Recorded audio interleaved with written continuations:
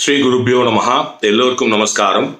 நாடக உலகிலும் திரை உலகிலும் தனக்கென்று ஒரு தனி முத்திரையை பதித்து சிகரத்தை தொட்ட இயக்குனர் சிகரம் கே. பாலச்சந்தர் அவர்கள்.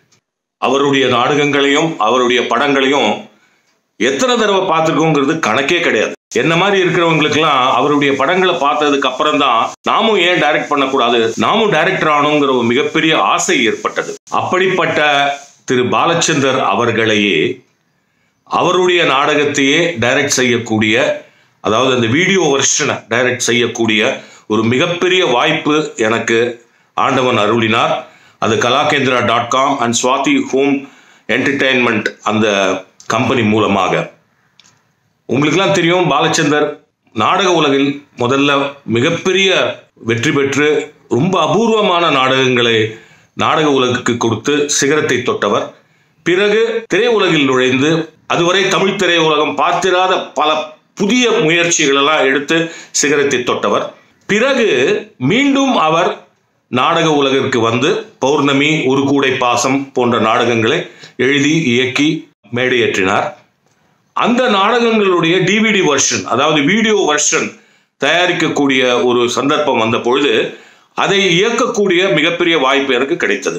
எனக்கு என்ன பயம்னா பாலச்சந்தர் சார் இருக்கும்போது அவர் முன்னாடி நான் கேமரா பின்னாடி நின்றுட்டு ஸ்டார்ட் கட் சொல்லலாமா? எப்படி சொல்றது நான் பயந்துட்டு இருந்தேன். அதை அவர் அழகா புரிஞ்சுட்டு என் தோல்ல கை போட்டு இதை பாரு நான் இந்த டிராமாவை எழுதியிருக்கலாம் டைரக்ட் பண்ணியிருக்கலாம். ஆனால் இந்த வருஷன் வந்து விஷுவல் வீடியோ வருஷன் அதுக்கு டைரக்டர் நீ தான் ஸோ அதுக்கு என்ன வேணுமோ அதை என்கிட்ட வாங்கிக்கோ. எனக்கு ஒரு ப்ராப்ளமும் இல்லைன்னு சொன்னார். அந்த தைரியப்படுத்தினார். In fact to go a step ahead இப்போ நீங்கள் பார்க்க போகிற ஒரு கூடை பாசம். அந்த நாடகத்தில் அவரே நடித்தார். ஸோ ஆல் த மூவிஸ் என்கிட்ட சொன்னார் பார்ப்பா இந்த நாடகத்தை பொறுத்த வரைக்கும் நான் நடிகன். நீ டைரக்டர் நீ என்ன சொல்றியோ அதை கேட்டு செய்ய வேண்டியது என்னோட பொறுப்பு. எங்கிட்ட என்ன வாங்கணுமோ அதை வாங்கிக்க வேண்டியது உன்னோட பொறுப்பு அப்படின்னார். ஆனா ஒரே ஒரு மேட்டர் சொன்னார். பா நான் கொஞ்சம் வயசானவன். நீ வந்து ரொம்ப ரொம்ப பெரிய ஷாட் வச்சேன்னா அவ்வளோ டைலாக் என்னால் மனப்பாடம் பண்ண முடியாது. நீங்க சின்ன சின்ன ஷார்ட்டா வை அப்படின்னார். நான் சொன்னேன் சார் பெரிய ஷார்ட்ஸ் வச்சு அதுல நிறைய மூமெண்ட் கொடுத்து அதுல நிறைய ஆக்டிவிட்டி கொடுக்கறது தான் உங்களோட பாணி. அதெல்லாம் தான் சார் நாங்க கத்துட்டு இருக்கோம்னு. அப்படியா? சரி அப்போ பண்ணு. ஆனா நான் நிறைய ரிஹர்சல் வாங்குவேன் ஆனால் அற்புதமாக பிரமாதமா நடிச்சா நீங்க பார்க்க போறீங்க. நான் சொல்லேன் சார் நீ இந்த டைலாக் சொல்லிட்டா வந்து இங்க உட்காரணும் சார் இங்க கட் பண்றோம் சார். அதுக்கப்புறம் இங்க இருக்கிறவங்க இங்க வந்து உட்காரணும் சார். அதுக்கப்புறம் நாங்க பாயிண்ட் ஆஃப் வியூ சஜஷன்ஸ் போய்க்கலாம் சார். அப்படின்னு ஓகே நான் பண்றேன் பாரு அப்படின்னு சொல்லிட்டு டேரக்டர் நான் கரெக்டா பண்றேனா? கரெக்டா பண்றேனா? நீ சொன்ன மாதிரி வந்து உட்காந்தேனா எந்த டைலாக் போது உட்காரணும்னு நினைச்சியோ அங்க உட்காந்துட்டேனா எல்லாம் கேட்டு பிரமாதமா பண்ணேன். இந்த மாதிரி ஒரு பாக்கியம் எனக்கு லைஃப்ல கிடைக்கும்னு நான் எதிர்பார்க்கல. அண்ட் எவ்வளோ ஒரு பெரிய உள்ளம் ஒருத்தருக்கு இருந்தா அவ்வளவு பெரிய ஒரு சிகரம் என்ன மாதிரி ஒரு நாவிஸ்ட இப்படி அழகா பழக முடியும். ஒரு பாயிஷ் எந்தூசிசம் சொல்ல மறந்துடக்கூடாது. ஒரு ரெண்டு ரெண்டரை மணிக்கு ராமராவ் கலா மண்டபத்தில் செட்டு போட்டு இந்த ஷூட்டிங் ஆரம்பிச்சிருக்கோம் ஒரு அஞ்சரை ஆறு மணிக்கு முடிஞ்சதுன்னு நினைக்கிறேன். முடிஞ்ச உடனே எல்லாம் ஓகேவா வெளில வந்துட்டு அப்போ India versus South Africa one day match நடந்திருந்தது. நான் அப்கோர்ஸ் அந்த ஸ்கோரை வந்து ஷூட்டிங் போயிட்டு இருக்கும்போதே நான் வாட்ஸ்அப்பில் எஸ்எம்எஸில் பார்த்துட்டு இருந்தேன். பா என்னாச்சு? மேட்ச்னாரு அன்னைக்கு தான் first time in a limited overs match Sachin Tendulkar double century அடிக்க போறார். He was nearing the double century நான் சொன்னேன் சார் சச்சின் டபுள் செஞ்சுரி அடிக்க போறேன் ஐயோ அப்படியா? நான் உடனே பார்த்தேன் மேல.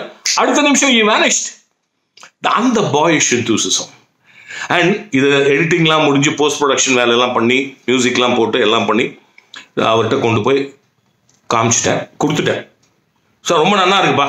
அப்படி சொல்லிட்டு ஒரு நீ வா வீட்டுக்கு வா ஒரு ஃபியூ சஜஷன்ஸ் இருக்கு அப்படின்னார். ஒரு பொங்கல் இன்னைக்கு மார்னிங் அவர் அவர் வீட்டுக்கு போயிட்டு நமஸ்காரம் பண்ணிட்டு எழுந்தேன் அவர் வந்து சஜஷன்ஸ் எழுதி கொடுத்தார். எப்படின்னா டிப்பிக்கலாக நம்ம வீட்டில் பெரியவங்கள்லாம் எவ்வளோ அழகாக சிக்கனமாக இருப்பாங்க. அது மாதிரி நார்மலாக ஸ்கிரிப்டில் நீங்கள் பார்த்தீங்கன்னா ஃபுல் ஸ்கேப் பேஜில் ஒரு ஸ்டேஜில் ஒரு ஒரு பக்கம் தான் எழுதுவோம். இன்னொரு பக்கம் காலியாக தான் இருக்கும்.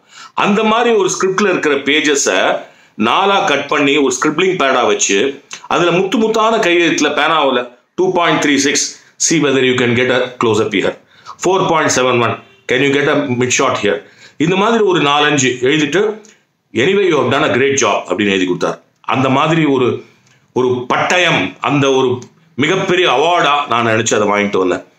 அப்போதான் ஜிஎன்பி கர்நாடிக் இசை மேதை ஜிஎன்பியை பற்றி அவருடைய சென்டனரிக்காக இதே கலாகேந்திரா டாட் காம் மூலமாக ஜிஎன்பி தி இசை வசீகரன் அப்படின்னு நான் ஒரு படம் பண்ணியிருந்தேன்.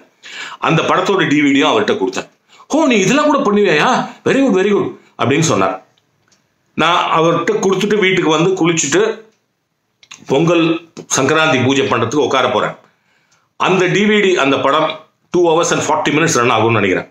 Two hours and forty two forty three minutes தான் ஆயிருக்கும். அவர்கிட்ட டென் ஃபோன் பா பிரமாதமாக பண்ணியிருப்பா சூப்பர் நீ இப்படிலாம் கூட பண்ணுவேன்னு எனக்கு தெரியவே தெரியாதியா? ஃபர்ஸ்ட் கிளாஸாக பண்ணியிருக்க அண்ட் ஜிஎன்பியை பற்றி இவ்வளோ விஷயங்கள் இருக்குது நான் இன்றைக்கி தான் புரிஞ்சுக்கிட்டேன் அப்படின்னார். எவ்வளவு பெரிய மனிதர். மேலே போக போக போக தான் அந்த ஹம்பிள்னஸ் வரணும் அப்படின்றதுக்கு அவர் ஒரு எ- எடுத்துக்காட்டு. Higher you grow humble you humbler humble you become அப்படின்றதுக்கு அவர் தான் ஒரு மிகப்பெரிய எடுத்துக்காட்டு என்னோட லைஃப்பில் இந்த சில விஷயங்களை உங்ககிட்ட சொல்லிட்டு now Let us enjoy Uru Pasam by none other than the great K. Balachandar.